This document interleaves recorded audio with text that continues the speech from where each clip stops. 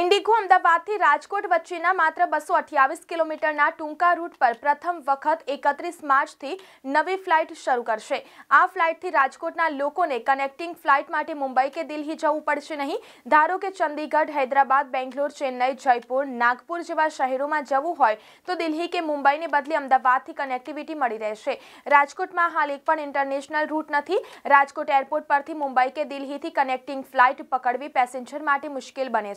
છે ત્યારે